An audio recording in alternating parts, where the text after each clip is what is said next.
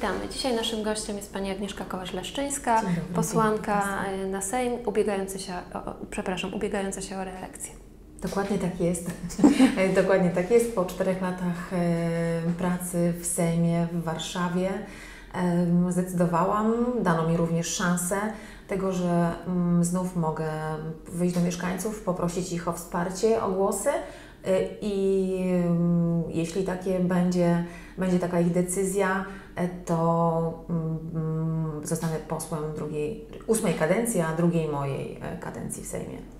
Pani poseł, jak by Pani oceniła te minione 4 lata? Jakie one były? E, Wcześniej przed, przed parlamentem pracowałam, właściwie mm, byłam w samorządzie. Trzy kadencje, w tym dwie kadencje przewodniczyłam Radzie Miejskiej Wałbrzycha i to była zupełnie inna praca niż teraz e, cztery lata w Sejmie. To praca przede wszystkim bardziej odpowiedzialna. To jest, y, myślę, że zawsze z tyłu głowy jest to, że odpowiada się jednak już za, za cały kraj, nie tylko za, za swoją małą ojczyznę, miasto czy, czy, czy powiat. Więc odpowiedzialność ogromna, dużo więcej pracy, ponieważ część pracy w Warszawie y, i tam praca w komisjach, a byłam, uczestniczyłam w, dwóch, w pracach dwóch najbardziej aktywnych komisji. To była Komisja Finansów i Komisja Samorządu Tery- Terytorialnego i Polityki Regionalnej. E, To również podkomisje, czyli, czyli te, które rozpatrywały poszczególne ustawy, praca w zespołach. Więc cały czas tydzień, c- który spędzałam w Warszawie, był wypełniony pracą od rana do późnych godzin wieczornych. A później wracam do regionu, wracałam do regionu i cały tydzień wypełniony pracą, e, spotkaniami z mieszkańcami, a tę pracę właśnie z mieszkańcami starałam się przenieść właśnie po pracy w samorządzie, więc em, spotkania, czy to indywidualne, czy z organizacjami, fundacjami, stowarzyszeniami, jakby powielając tę moją pracę w samorządzie. Więc tego było bardzo dużo. No i e, to, co kontynuowałam, e, czyli oprócz tej współpracy takiej codziennej, roboczej, również patronowanie wielu wydarzeniom, imprezom, e, które wcześniej sama organizowałam, a później już właśnie z braku czasu tylko, tylko patronowałam. Więc e, cztery lata naprawdę dużego wysiłku, e, ale ponieważ od wielu lat pracuję dla ludzi, z ludźmi, z mieszkańcami, więc e, po, tym, po tych czterech latach e, mimo że trochę zmęczenia, to jednak satysfakcji, że, że wiele drobnych, od najdrobniejszych do, do większych rzeczy udało się zrealizować, czyli te marzenia, które były na początku, zostały zrealizowane. A gdyby Pani miała wskazać największe osiągnięcie i największą porażkę tych minionych 4 lat, co by to było? Osiągnięcia. Myślę, że takim pierwszym, właściwie najważniejszym osiągnięciem, jak tylko poszłam, poszłam do Warszawy, zaczęłam pracę w, w parlamencie, w Sejmie, to chyba i największą radość e, sprawiła mi, sprawiło mi odzyskanie grodzkości dla Wałbrzycha. No, moje rodzinne miasto. Wiele lat, wiele osób e, wkładało mnóstwo wysiłku, żeby tę grodzkość odzyskać. Szło to, miało to bardzo różny skutek i nie ukrywam, że rzeczywiście takim rzutem na taśmę w ostatniej chwili i ja byłam jakąś taką osobą wykańczającą e, odzyskanie tej grodzkości, bo pamiętam jeszcze rozmowę e, uwiecznioną na zdjęciu z panem premierem i z kilkoma ministrami odpowiedzialnymi właśnie za te decyzje. W piątek rozmawialiśmy, e, a we wtorek ukazało się rozporządzenie, które mówiło, że, że to się może ziścić i od 2013 roku tę e, grodzkość odzyskaliśmy, ale to nie sama grodzkość, tylko, tylko efekty tego, e, e, które na co dzień mieszkańcy odczuwają, czyli większy budżet, zarządzanie, jed, jeden gospodarz wszystkich dróg, zarządzania drogami, ale to również możliwość kumulacji wszystkich szkół pod, pod, pod prezydentem, więc one nie były porozbijane, miasto i powiat. E, Dodatkowe pieniądze, z których mogliśmy korzystać na drogi, źródło, z którego mogliśmy korzystać, to tylko właśnie korzystało z tego miasta na prawach grodzkich i mnóstwo innych decyzji, takich bardzo ważnych, odczuwalnych dla mieszkańców ta grodzkość ze sobą przyniosła. I to było moje pierwsze zwycięstwo, bo to dosłownie kilka miesięcy po, po tym, jak weszłam do parlamentu. A porażka, myślę, że chyba ta, ta ostatnia, ostatni czas i to, że nie udało się uzyskać e, decyzji w sprawie dofinansowania obwodnicy Świdnicy. Jednak, jednak. Myślę, że, że oczywiście bliższa posłom ze Świdnicy ta, ta decyzja była, bardziej ją przeżywali, ale myślę, że to w tej pracy, pracy parlamentarnej naszej wspólnej, bo, bo przy większych rzeczach jednak stanowimy team, stanowimy drużynę, i to chyba to, że, że, że ta obwodnica na razie została, ta, ta decyzja o obwodnicy została odłożona. Tak mi się wydaje. Według y, ostatnich sondaży Platforma Obywatelska i Prawo i Sprawiedliwość w naszym regionie idą w łeb w łeb. Jak y, Pani ocenia, jaki będzie finał 25 października? Zawsze wierzę do końca w zwycięstwo, bo, bo y, każdą, każdą walkę, którą się podejmuje, wierzy się do końca w zwycięstwo, tak też wierzę, ale to nie dlatego, że, że tak po prostu sobie myślę, tylko, tylko myślę, że te 8 lat y, to jest naprawdę kawał dobrej pracy wykonanej przez, przez ludzi Platformy Obywatelskiej. Ja mówię o tych w Warszawie, ale również tych, którzy są w, w naszych miastach, y, gminach, którzy, którzy prowadzą te mniejsze miejscowości, gminy to 8 lat odpowiedzialności to ogromnej. To, to czas, kiedy udało nam się w najtrudniejszym czasie, w czasie kryzysu, przejść przez to w miarę, w miarę spokojnie, bez większych potyczek, bez większych porażek. Oczywiście one były, bo to zawsze tak jest, że nie udaje się niczego, y, znaczy wszystkiego zrealizować, co, co, co się planuje. Y, I zawsze, co powtarzam, to wierzę w zwycięstwo, ponieważ my jesteśmy odpowiedzialni, konsekwentni, jesteśmy aktywni, zaangażowani, ale też być może to takie bardziej kobiece emocje, ale jesteśmy ludźmi, którzy lubią ludzi. E, I to też jest bardzo ważne w naszej codzienności, bo decydować o, o, o, codzienności innych ludzi naprawdę trzeba być najpierw, najpierw samym sobie w porządku i dobrym człowiekiem i później próbować decydować o codzienności innych. Więc ja wierzę, że oczywiście wierzę w dobry wynik tutaj u nas na Dolnym Śląsku Platformy Obywatelskiej, ale również do końca będę wierzyła w to, że uda się, uda się wygrać. E, przez ostatnie dwie kampanie to jednak Platforma Obywatelska była tutaj e, liderem.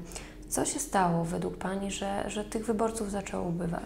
Ja nawet wczoraj miałam e, rozmowę właśnie tutaj w Świdnicy e, z jednym z panów, który miał chwilkę czasu i przy, kiedy prosiłam o głos na mnie, e, mówił, że mnie zna i bardzo dziękuję za tę pracę.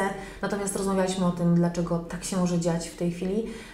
I to, to być może jest zmęczenie ludzi, mieszkańców tymi samymi osobami, tym wszystkim, co się dzieje, więc samo zmęczenie, jak to Pan określił, zmęczenie materiału, no i oczywiście pamiętamy różne rzeczy, różne sytuacje, które pewnie nie powinny się zdarzyć, za które my jako, my jako platforma, jako struktura duża ludzi też się wstydzimy i, i, i wiemy, że e, uczestniczyły w tym osoby również Platformy Obywatelskiej, więc to też mieszkańcy widzą. Mieszkańcy w tej chwili są bardzo aktywni, oni obserwują, komentują, e, i decydując później o, o, o tym, kto ma dalej e, gospodarzyć czy rządzić naszym państwem, też takie sytuacje pamiętają, więc, więc pewnie to jest, to jest to wszystko, co się złożyło, złożyło na to, bo nie wierzę, nie dam sobie wmówić, tak jak inni, że Polska jest w ruinie e, i tak, tak źle e, rzeczywiście nie jest i to myślę nie spowodowało, czy nie, nie powoduje tych myśli, że może mieszkańcy myślą o tym, żeby oddać władzę e, komu innemu. Wiem, że jako poseł prowadzi, prowadziła, prowadzi dalej Pani biuro poselskie bardzo aktywnie.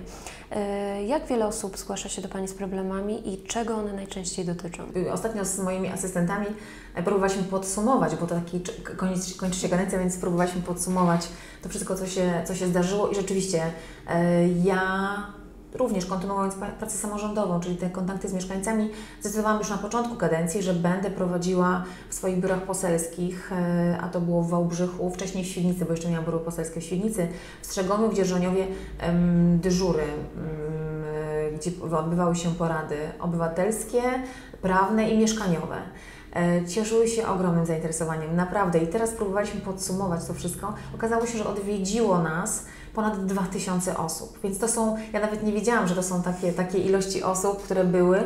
I, a tematy bardzo różnorodne. To było od y, problemów na przykład przy, przy rozwodach, przy podziale majątku.